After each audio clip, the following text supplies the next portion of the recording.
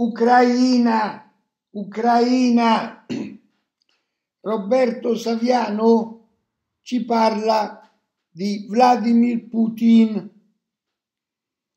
Ok? Ucraina, Ucraina. Roberto Saviano ci parla di Vladimir Putin. E ho, vi, ho visto eh, un bellissimo frame, uno, spezio, uno spezzone di una bellissima trasmissione sulla 7 gestita dal conduttore televisivo Giovanni Floris. In questa, cioè, in quest, nello spezzone, nel frame che io ho visto e ascoltato e che vi metterò come link nel riassunto di questo video, e Roberto Saviano ci parla eh, delle, delle persone che sarebbero state fat, fatte assassinare da Vladimir Putin, Vladimir Putin, persone, giornalisti, eh, qualche oligarca diss, dissidente. Bene, allora io qua, io, io, io, Serafino Massoni, io, eccomi qua, Roberto Saviano, vedi, Serafino Massoni, sono nato a Volta Mantovana nel febbraio 1940, nella prima decade di febbraio 1940 ho già compiuto i miei bravi 82 anni, eh, Roberto Saviano, e opero sulla grande piattaforma mondiale YouTube e su YouTube ho circa 12 milioni di visualizzazioni. E questa, caro Roberto Saviano, è la mia ultima opera. Eh? Vedi che da una parte c'è la stella di David, dall'altra la croce uncinata, perché Il marinaio delle Antille è un romanzo storico ambientato dentro il Terzo Reich. Allora, vediamo un po' com'è la situazione. Vediamo un po' com'è la situazione. Ah, vorrei premettere, vorrei premettere, vorrei premettere che come premessa, come premessa, eh, vorrei, vorrei informare Roberto Saviano e, i miei ascoltatori, ma, ma anche Giovanni Floris, eh, che c'è una bella recentissima analisi di Sergio Romano sulla guerra in Ucraina. Eh. È un'analisi di Sergio Romano del 3 marzo 2022, cioè a guerra già iniziata, eh? capito Roberto Saviano, capito Giovanni Floris? Giovanni Floris, Roberto Saviano, lo sapete chi è Sergio Romano? Eh?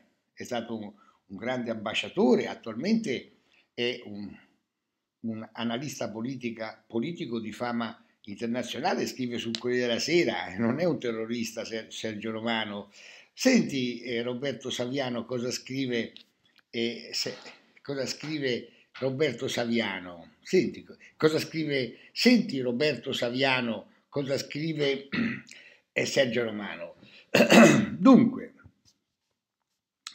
allora, allora,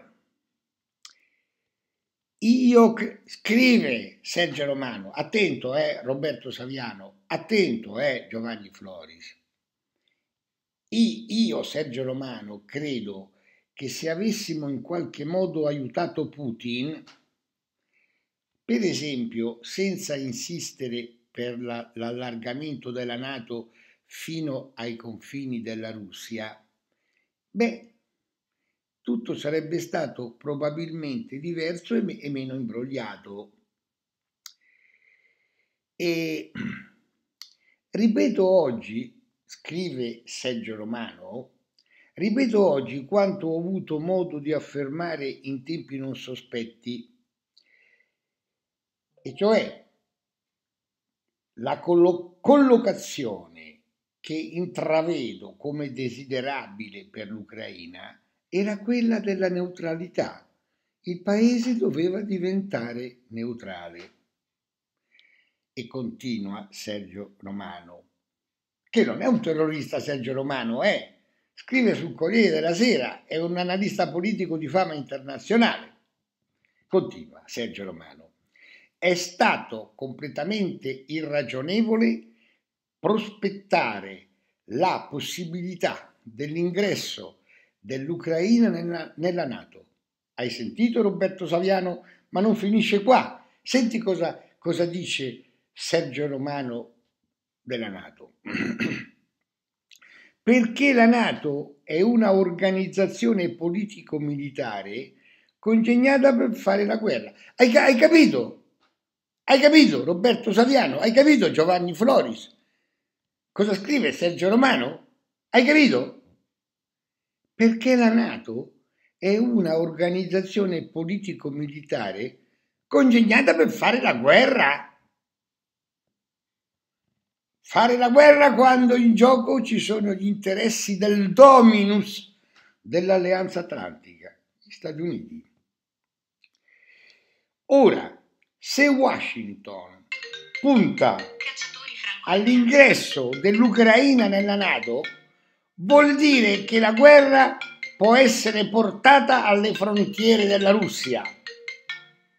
Questa è comunque la percezione di Mosca, di cui non si può non tener conto. E ritengono che si tratti di una preoccupazione in qualche modo fondata e non l'ossessione di Putin. Cioè, non si è nella Federazione russa e si ritiene eh, che, che la preoccupazione sia fondata e che non ci sia nessuna ossessione da parte di Putin. Ma senti Giovanni Flori, senti Sosa, Roberto Saviano, ma hai sentito cosa scrive Sergio Romano della Nato? Ma hai sentito? Perché la Nato è una organizzazione politico-militare congegnata per fare la guerra. E fare la guerra quando in gioco sono gli interessi del dominus dell'Alleanza Atlantica, gli Stati Uniti. Senti eh, Roberto Saviano, senti Giovanni Floris, io l'articolata di, di Sergio Romano la metto come linea riassunto di questo video. Mm? Bene, fatta questa ragionevole premessa, carissimo Roberto Saviano, ah guarda Roberto Saviano, io qua preciso ulteriormente che ho scritto tante opere, eh, Roberto Saviano, ho scritto tante opere, questa è soltanto la mia ultima opera, eh, un romanzo storico ambientato dentro il Terzo Reich, la vedi la stella di David, la vedi la croce uncinata. Devo precisare che benché io abbia scritto, io abbia scritto tante tante opere, non sono mai stato io Serafino Massoni, non sono mai stato io Serafino Massoni condannato dalla magistratura italiana in tutti e tre i gradi di giudizio per aver copiato. Capito Roberto Saviano? Capito Giovanni Floris? Io, Serafino Massoni, non sono mai stato condannato dalla, magistra, dalla magistratura italiana in tutti e tre i gradi di giudizio per aver copiato. Lo sai Giovanni Floris cosa voglio dire? Tu lo sai Giovanni Floris cosa voglio dire io? E tu Roberto Saviano lo sai cosa voglio dire io dicendo che io Serafino Massoni non sono mai stato condannato dalla magistratura italiana in tutti e tre i gradi di giudizio per aver copiato? Tu mi capisci Roberto Saviano? Tu mi capisci Giovanni Floris? Beh, tirami innanzi, tirami innanzi, andiamo avanti. E Vladimir Putin. Ma lo sai, Roberto Saviano, che Vladimir Putin non è diventato il capo, il leader, lo zar, della federazione russa con la violenza. Lo sai Roberto Saviano come ci è andato il potere Benito Mussolini? Lo, lo sai? Olio di ricino e manganello. An- anche Adolf Hitler è andato al potere così, eh? Sì, sì, ci sono state le elezioni, ma le SA e le SS ci pensavano loro a fare i gare dritto il popolo che andava a votare. Eh? Ah, beh, ma anche Stalin eh? non è mai andato al potere con l'olio di ricino e manganello. Eh. E Vladimir Putin non è andato al potere con olio di ricino e manganello. E il testimone gliel'ha passato Boris Yeltsin. E poi di volta in volta è sempre stato confermato al potere. E che male c'è? E, e sono orga, organizzazioni statali fatte così. non c'è niente di male. Qua da noi ogni 4 anni, 5, 6, 7 anni si cambia il capo dello Stato, da noi ogni, ogni 7 anni, negli Stati Uniti ogni 4 anni.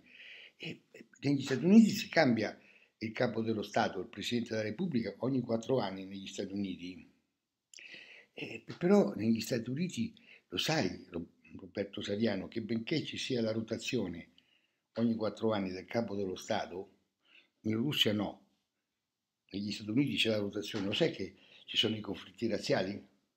Te l'hanno mai insegnato Roberto Saviano che negli Stati Uniti ci sono i, i, i, i, conflitti razziali, ogni tanto viene ammazzato qualche neraccio, qualche nero, perdono, qualche nero, qualche nero viene ammazzato. Lo sai o non lo sai? Eh? È vero che, che, che ci sono i conflitti dentro gli Stati Uniti, anche se la democrazia degli Stati Uniti prevede che ogni quattro anni ci sia il cambio alla White House, può essere anche una conferma, però ogni quattro anni, ma otto, ogni otto, otto anni cam, si cambia. Però ci sono i conflitti razziali, come mai? Muore tanta gente per i conflitti razziali, eh? Eh, eh, Roberto Saviano, muore tanta gente negli Stati Uniti. Lo sai che c'è un grande movimento di armi negli Stati Uniti? Chiunque può, può comprare il bazooka, chiunque può comprare il bazooka. E, e là c'è la democrazia, c'è, c'è, c'è, il cambio continuo de, de, dei leader. In Italia? In Italia Ogni sette anni, ogni sette anni in Italia cambiamo eh, il capo dello Stato. Eh, però dove la mettiamo la, la strage di Bologna? Dove la mettiamo la strage di Bologna? Nella democrazia italiana ogni sette anni si cambia il leader, si cambia il leader. Però c'è stata la strage di Bologna. Chi è che l'ha fatta la strage di Bologna? E nella dem- democrazia italiana, chi, chi, chi, è che ha fatto zompare per, per aria Falcone e Borsellino. Chi, chi, chi, chi, chi è Roberto Saviano? Chi? La mafia? O qualche altra realtà? Roberto Saviano! Non è questo il modo di giudicare se uno Stato è buono o uno Stato cattivo. Non è sulla base della rotazione del Presidente della Repubblica, del Capo dello Stato, che si può giudicare se uno Stato è buono o uno Stato è cattivo. Perché con tutto rispetto per la democrazia americana, dove ogni quattro anni c'è, il ricambio alla White House, ma ci sono tante brutte cose dentro gli Stati Uniti. C'è un movimento di armi, c'è. Ci sono di quei conflitti razziali. Eh? Capito Roberto Doviano? Capito? Vladimir Putin si dice che abbia fatto fuori dei giornalisti e degli oligarchi. Sì, vabbè, vabbè, vabbè, però non è andato al potere con olio di ricino e manganello, è eh? vero? È vero Roberto Saviano? È andato al potere democraticamente. E adesso, circa poi la democrazia, in Italia ti ripeto, dove la mettiamo la strage di Bologna? Quante vittime ha fatto la strage di Bologna? Eh? alla stazione di Bologna. Eh? Quante vittime ha fatto? Ha fatto più vittime la strage alla stazione di, di, di, di Bologna o Vladimir Putin con degli oligarchi o dei giornalisti? Ah, Bettoviano! Adesso eh, eh, arriviamo all'Ucraina. Ma ci vuole tanto Roberto Saviano e Giovanni Floris a capire che, che, che l'Ucraina doveva restare in uno stato neutrale? Eh, Giovanni Floris, Roberto Saviano. Ma te lo ricordi l'anno 1963, Roberto Saviano, Giovanni Floris, quando Khrushchev eh, volle, volle, installare i missili nucleari a Cuba, a Cuba dove c'è la Baia dei Porci. Lo sai, lo sai cos'è la Baia dei Porci, Roberto Saviano? Joseph Kennedy, John Kennedy che voleva fare alla Baia dei Porci. E Khrushchev voleva installare i, i, missili, i missili nucleari a Cuba. E John Kennedy ha detto no, non siamo contenti. E allora Khrushchev li ha tirati via i missili da Cuba, se li ha riportati a casa. Così doveva fare l'Ucraina.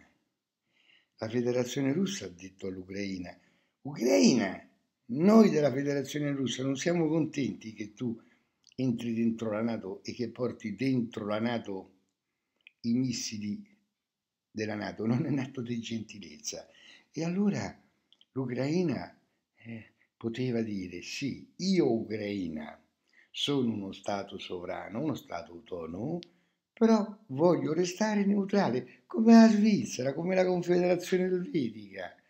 Lo sai, Roberto Saviano e, e Giovanni Floris, lo sapete che gli svizzeri sono tutti felici e contenti di stare in uno Stato sovrano, autonomo e neutrale? Che cosa c'era di male?